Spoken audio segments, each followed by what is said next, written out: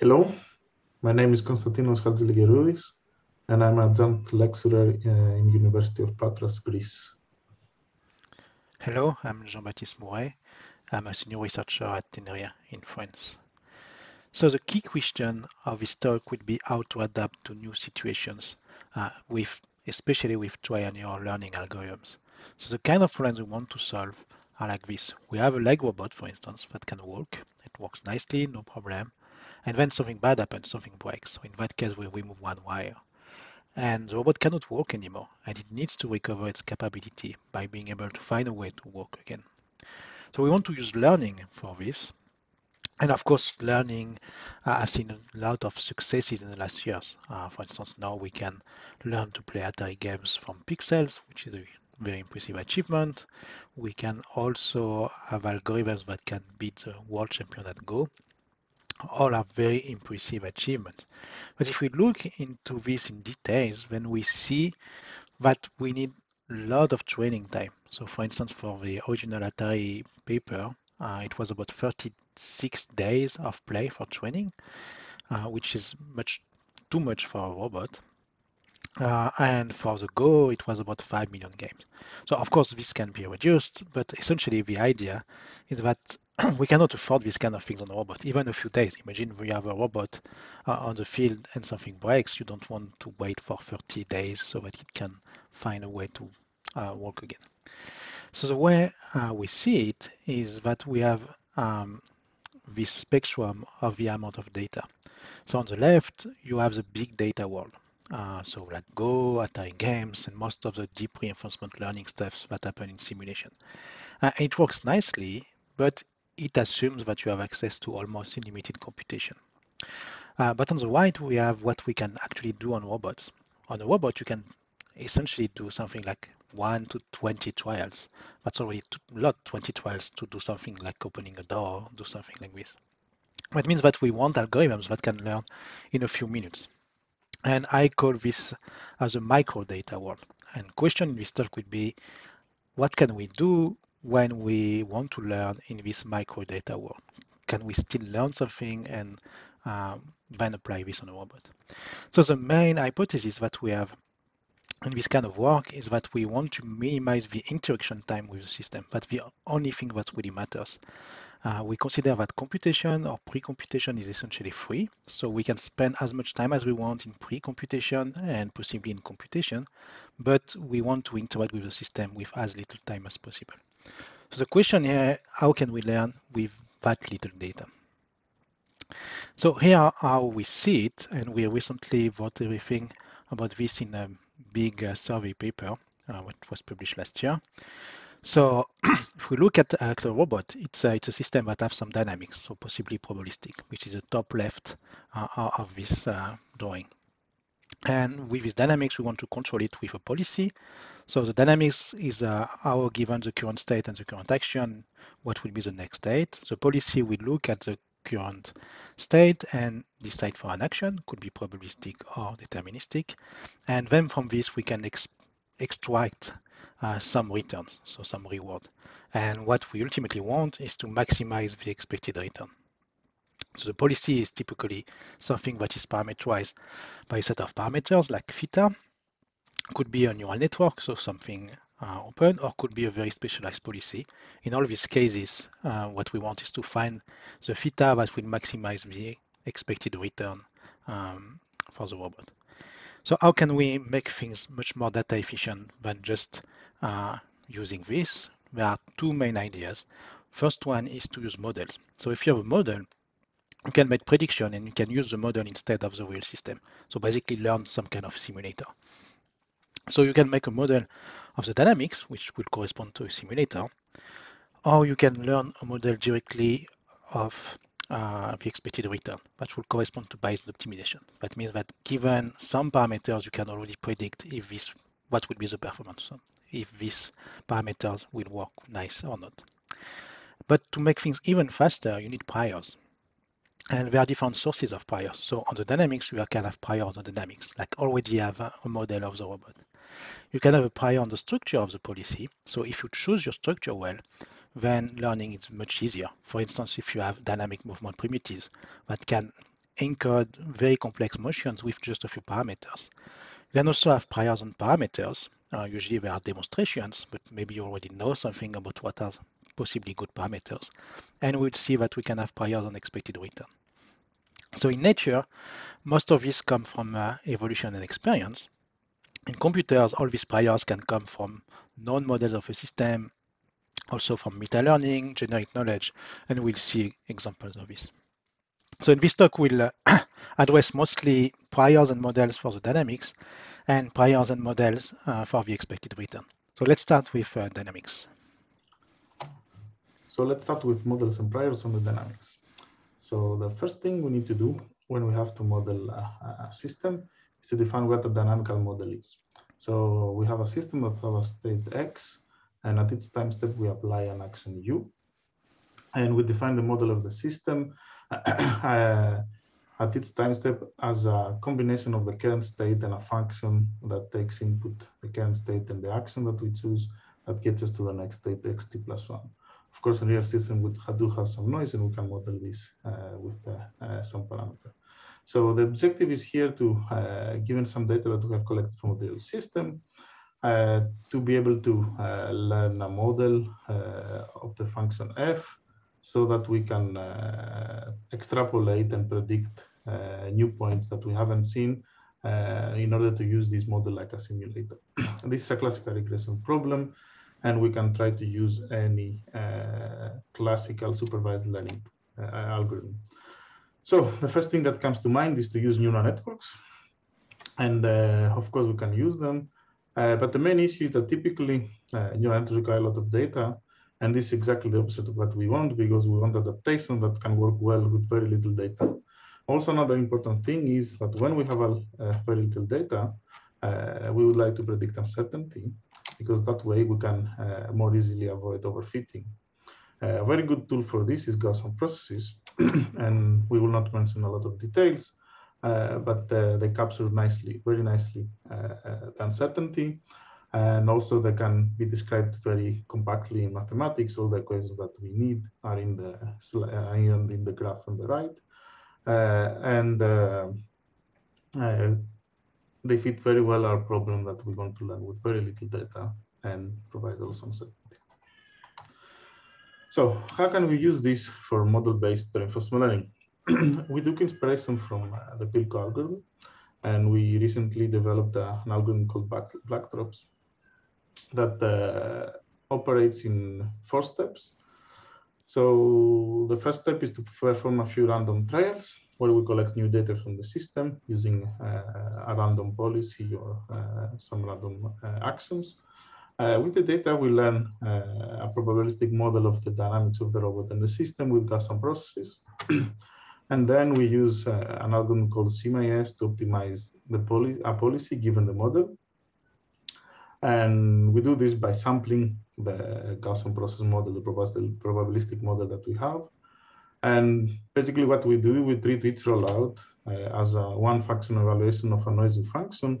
And CMA-ES uh, uh, basically is, is, developed to be able to handle uh, noisy evaluations. And also uh, because of, of the population-based scheme that it uses, it can benefit a lot from parallelization. so we can get very good speedups. So once we have this new policy that we have optimized on the model, we try it on the robot, we collect more data, and we go back to step two. We learn a new model with all the new data. We optimize again with CMA-ES, and we continue this process. so with this uh, type of algorithms, we are able to learn from scratch in very uh, few episodes, like four or five episodes, or like 20, 30 seconds of interaction time in simple systems like the cartpole or the double cartpole and the pendulum, and basically the main uh, message here is that we can be as effective as PILCO, but using this population-based algorithm, we can have a faster uh, runtime of the algorithm. So the main issue of uh, this type of approaches like PILCO and Black-DROPS and uh, approaches like this is that they do not scale very well uh, when the when the, dimensions of the uh, of the system of the dynamical model are very high. And this is because we need exponentially more data to actually capture uh, the effects of the dynamics. So as we have said before, one of the best ways to be able to learn more effectively uh, in high dimensional system is to use more priors. So uh, fortunately, Gaussian processes provide a very nice way to insert priors in the, uh, in the system. And we can do this, one way of doing this is through the mean function of the GP.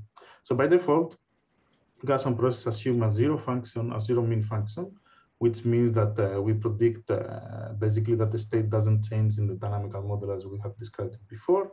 But uh, we don't necessarily have to stick to this. And here we have an example where we have exactly the same data. And by changing the mean function, we get completely different shapes uh, as predictions. So the idea here is to use uh, a simulator, a full featured simulator, uh, as a main function for the GP. Uh, and we recently tried this uh, in our work where we basically use this simulator as a prior, and then we use Gaussian process to learn uh, the difference between the simulator, what the simulator gives us, and what we see from the real system. Uh, we also took it one step uh, ahead, and we also try, we say that a simulator can also have some parameters that we can change, for example, the length of the leg of its leg of the robot, or maybe some masses, or maybe some friction uh, coefficient of frictions and stuff like that that could affect the behavior, and we can uh, basically learn them uh, from the real data. This is very close to model to classical model identification. So basically, in this paper, what we do is that we define a way to maximize the likelihood of this combined model that we have the simulator with the parameters and the Gaussian process that learns the difference and we're able to find the parameters for both, the hyperparameters of both. And we effectively combine uh, non-parametric model learning and model identification. And the idea here in the intuition is that whatever can be captured by the by the tunable simulator uh, will make the learning for the GP easier, so we can exploit it. Uh, whereas we capture with the GP whatever cannot, uh, whatever the simulator cannot capture. Uh, so, for example, uh, in this robot, we remove the, the back leg, and of course, it cannot really walk. Uh, so we collect the data, we learn the model, and yeah, beginning from the second episode, we can already learn a policy that can uh, do some walk a bit. And from the third episode, it already starts to, to walk quite nicely. And from the fourth, fifth episode, we begin to have a very nice policy that uh, can work quite well. Uh, here we use a policy that has 36 parameters, so we have also a good structure in the policy. Uh, but of course, one could use uh, um, more uh, uh, more generic policies, and the pipeline still works. So here we can see that we can learn in uh, a few seconds of interaction, very few seconds of interaction. We can learn very, very nice scales using this type of of algorithms. Gaussian processes are nice, but they tend to be slow. And they're slow both in training, they require about O1 cube, uh, where n is the number of samples. Uh, but also in training, we also have to uh, uh, optimize for the hyperparameters, which is a difficult optimization problem. It can take some time. But most importantly, they're also uh, slow in query time. So we, they require about O1 square. Uh, and this means that we, we cannot use GPs uh, pure GPs uh, for dynamical systems that are complex and high dimensional, or for longer experiments where we will require a lot of data to, uh, to handle.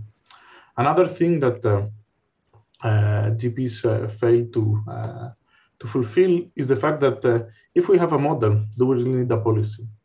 And uh, if we think about it, we can use other types of uh, uh, of ideas like model predictive control, where we can use the model and define at its time step a small optimization problem uh, in order to optimize for the optimal actions in a smaller horizon, like uh, uh, half, half or one second.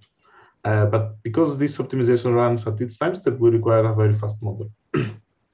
so GPs there would fail to suit the, uh, fail to suit the, this problem uh, well because they're, as we said, a bit slow. Uh, so neural networks are making fast progress in, uh, in catching up in the properties of GPs for good extrapolation and nice and predicting uncertainty, for example, with ensembles and similar stuff with Bayesian neural networks, etc. Also, they use they they tend to work very well with GPUs and embedded chips, so they might be uh, a better solution for uh, usage in robotics. So, how can we use uh, neural networks to uh, learn uh, a dynamics model and make it data efficient? One idea is to use meta learning. Uh, so, the idea is that we use simulation and meta learn a policy, a model with a lot of example situations, for example, different types of damages or different types of terrains, etc., etc. And the idea then is that uh, online uh, we can adapt this uh, meta-learned model with only a few gradient steps.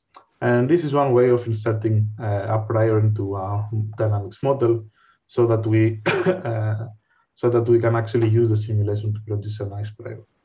Uh, the, the most popular algorithm for doing meta learning is uh, MAML.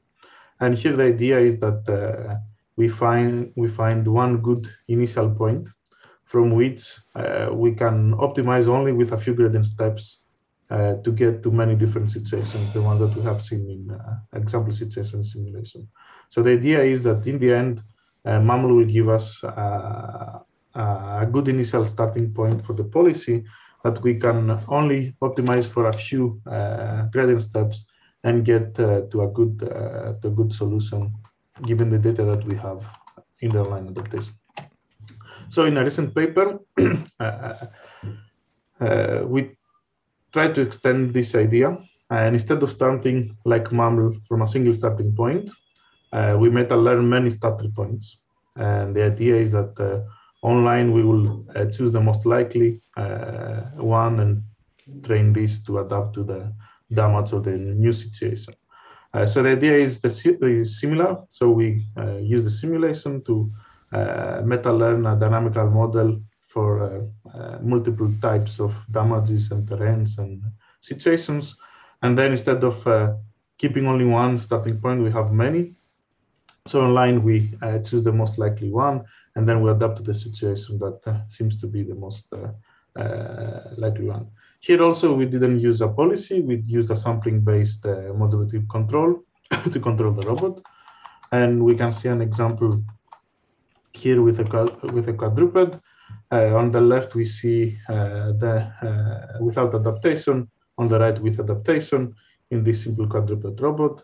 And we can see that uh, very quickly the, the pipeline uh, is able to adapt to uh, the data that it sees and provide a much better performance than not non-adapting. We also uh, uh, implemented this in many different systems and in a real robot. Thank you. So now let's move to models of the expected return and what we can do with Bayesian optimization and priors on Bayesian optimization. So starting point is that modeling the, the dynamics works very well in simple systems. Uh, one nice thing is that it does not depend on the dimensionality of the policy.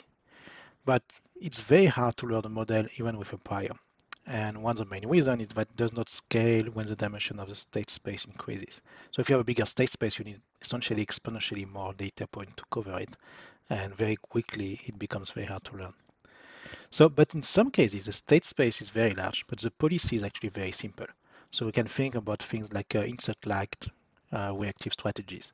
You have uh, the world, which is high dimensional, very, very complex, but still sometimes just to avoid obstacles, you don't need all of this. You don't need to understand all the dynamics of the world. You just need to have a very basic reflex to avoid obstacles.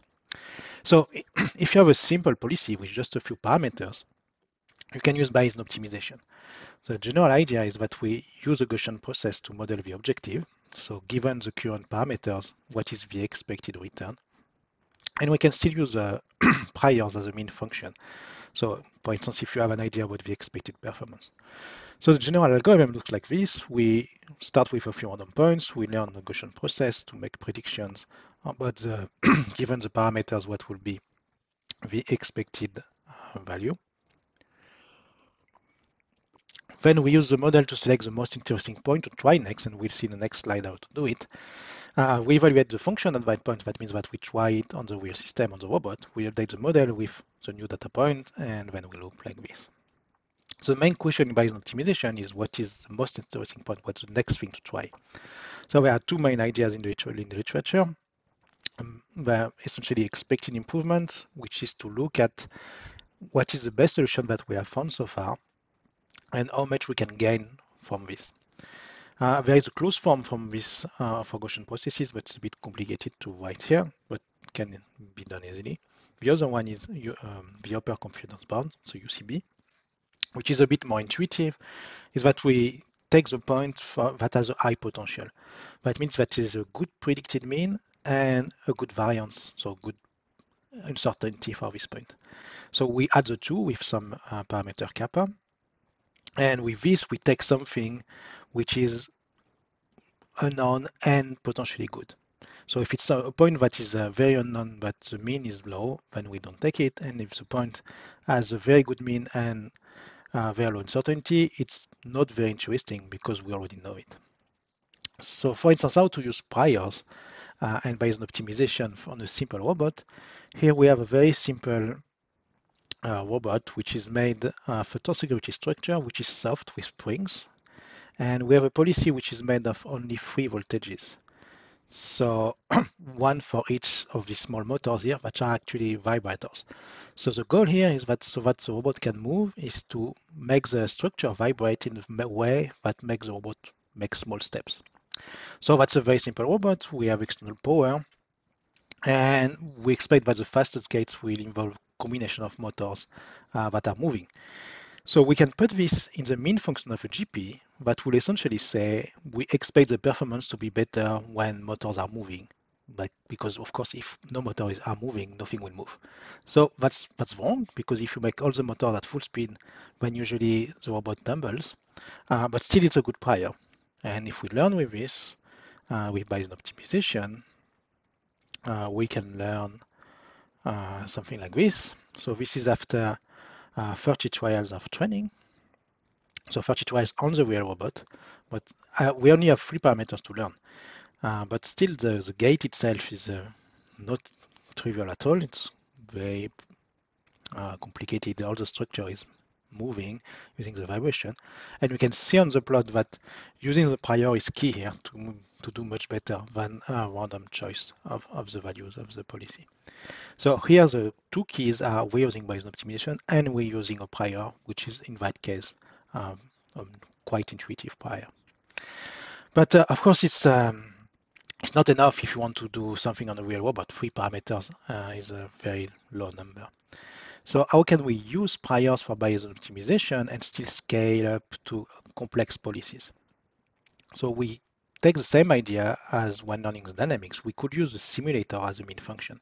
So if we already know simulator, we can use this, use this as a mean function.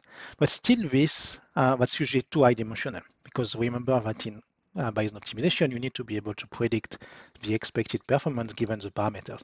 And if you have more than a dozen of parameters, it becomes, again, very, very hard to learn a good predictor. So in the case of our hexapod robot, we have 36 uh, parameters to learn, and that's too many for Bayesian optimization. But if you use a neural network, that might be 1,000, 2,000, 1 million, many more.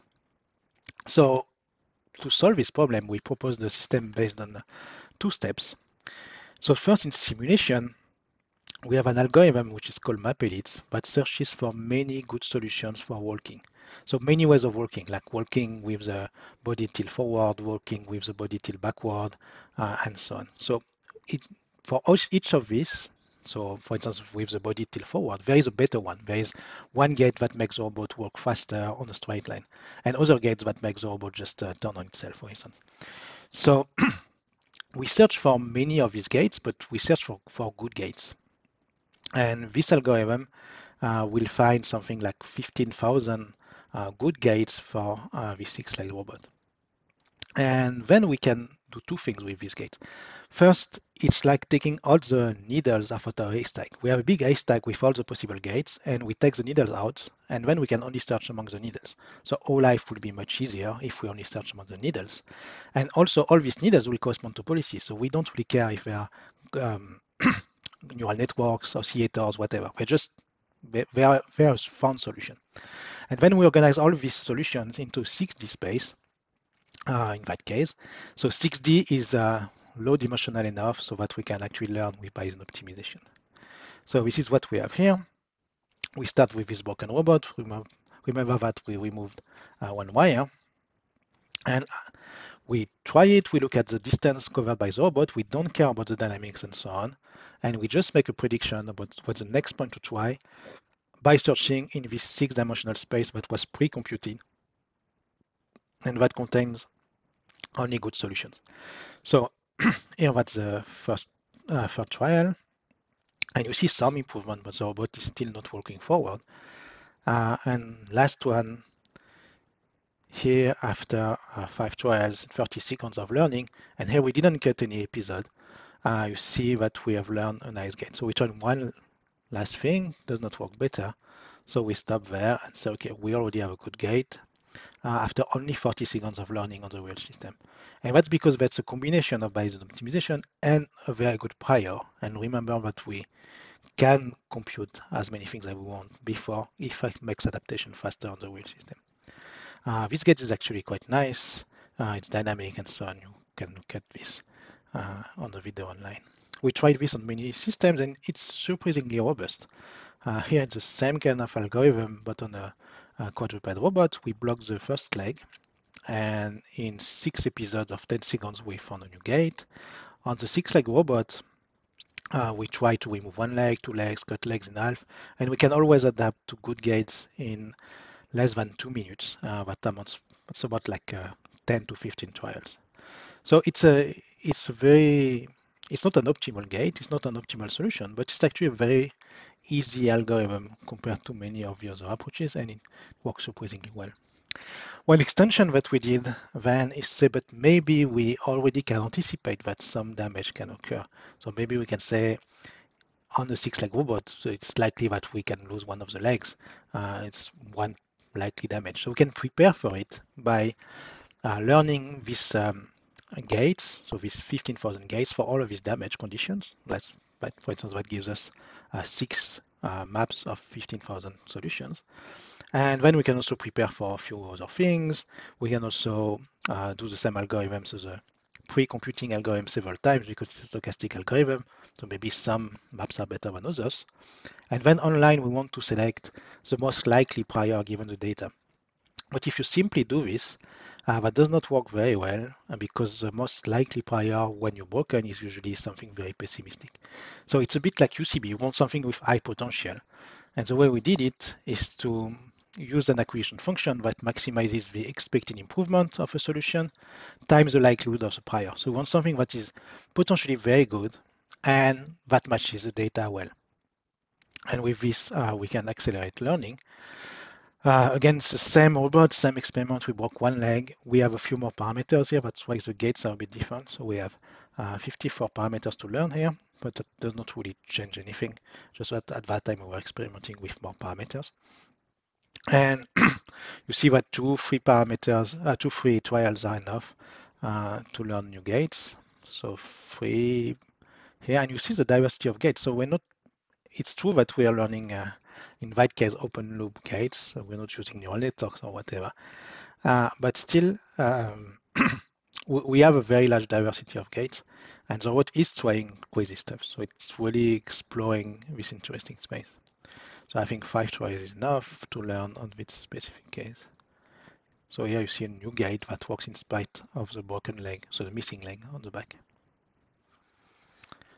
So to conclude, this talk was about how can we learn by trial and error in a few trials?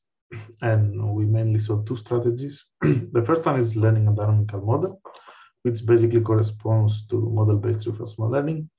And we saw that uh, it works quite well for, for relatively small state spaces, but does not scale very well with uh, the dimension of the state space. So if you have a big robot, uh, we're going to have some trouble in applying model-based reinforcement learning.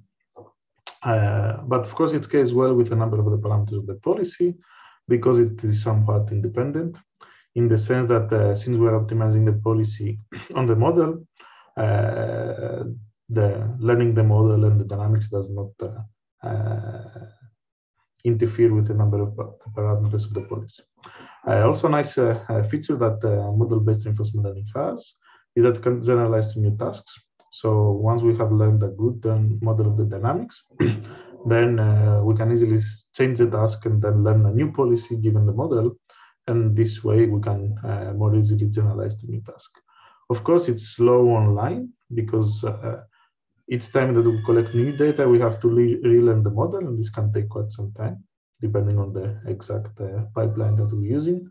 And also another downside is that learning a good dynamical model is still an open problem, especially when you have unstructured data and not a well-defined static data set. The second uh, strategy was learning uh, a model of the reward. And this is some kind of surrogate-based optimization. Uh, and uh, the good thing about this is that uh, it scales very well with the measured state space.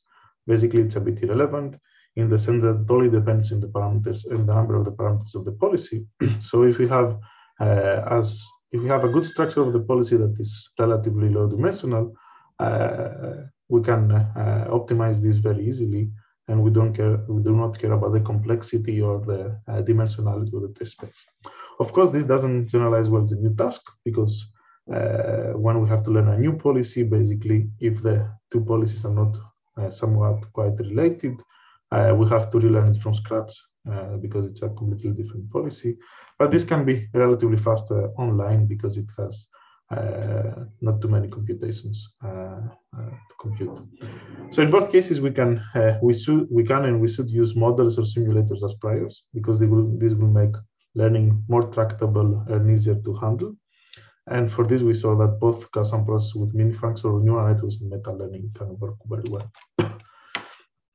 so as a, as a more general conclusion, uh, one discussion that is interesting is what is a good and what is a bad prior, and how can we uh, uh, define what we need to do. So in general machine learning, uh, we usually fear the priors because our ultimate objective is to have no prior let the machine learn by itself. Uh, but for practical algorithms, uh, we need to find flexible ways to insert the priors into the algorithms. And this means that we might need to do some meta learning, use mean functions of the GPs, or some uh, sim to real techniques that we diffuse some priors in some uh, latent space uh, or as we saw, maybe we can have a lot of priors, but discard the ones that are not needed, etc., etc. And overall, we feel that there is a gap in the literature here, and that we have a lot of way of new ways to explore to insert correctly the priors in machine learning algorithms.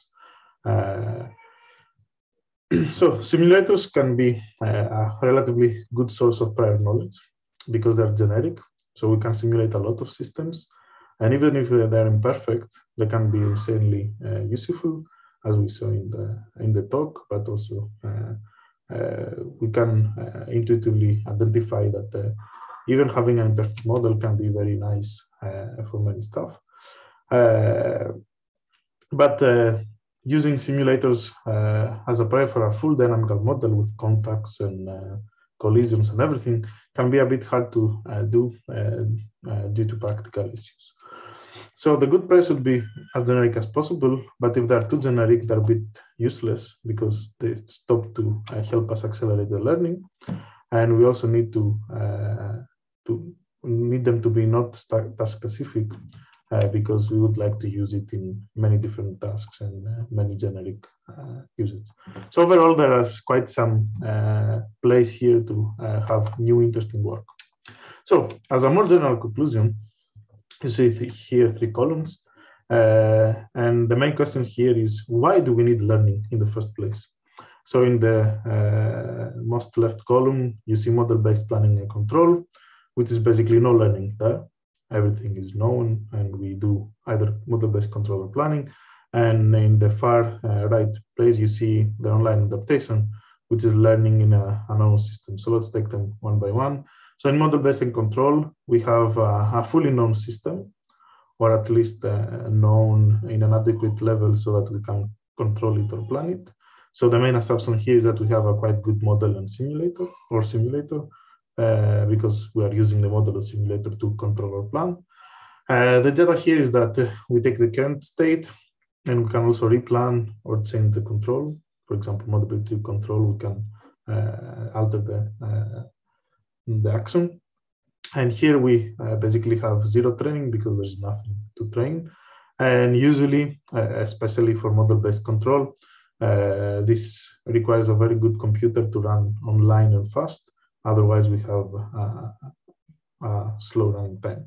So the main challenges here are engineering to make the uh, uh, the optimization that we need to run in real time uh, on uh, on a robot. So this is speed, and also if the assumption of the good model does not hold, then we're in trouble because many weird things can happen.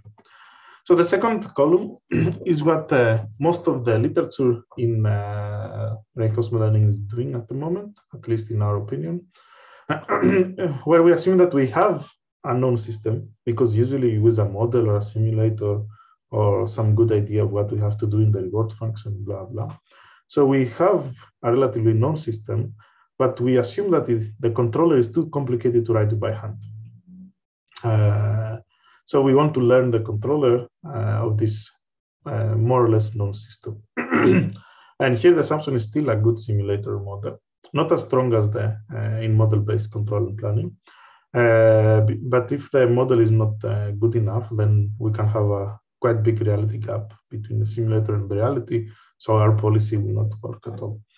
Uh, here we uh, do not have any online training, so we basically rely on robustness to to adapt to new situations.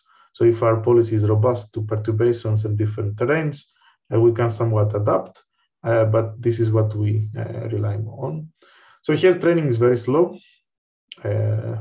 And we know that uh, reinforcement learning algorithms require a lot of training uh, and a lot of samples to find good solutions. But uh, when we're running it on the robot, on the real system, it's uh, usually very fast because it's just a neural network can run uh, uh, on the system. So here the main challenge is how can we make more better the training, find better solutions also faster, but also how to close the reality gap, especially when we have imperfect simulators. So the last column is the one that uh, we are more interested in, and this is online adaptation. So basically here we assume that we have a partially unknown system. So we know a few stuff. For example, we can know the intact robot, and we ha can have an approximate model of the intact robot, but we are not aware of the new situation or the damage it can happen, it has, or stuff like that. So here we have an imperfect model. We, can, we do not have a, a good model. We don't make this assumption. And when we get the data from the real system, we learn by the data on the real system. So this is not something that we uh, rely on robustness or the planning or the model. Uh, we use the real data to uh, change completely the behavior. So the training can be slow. Uh, and uh, this is uh, because we need to do quite a few computations. Usually, um, but running time can also be quite fast because we still use some kind of a policy or predictive control that we can make it fast. So here the main challenges are data efficiency. So how can we learn with very few trials? Because as we saw, online adaptation is usually useful when it's fast. And also the dimensionality of the state space of the policy, depending on which exactly uh, type of online adaptation we're using, uh, so that we can do this online and be reasonably fast. So thank you for your attention. Uh, I want to thank all the students and engineers who work on this project. And if you have any question, please send us an email. Thank you.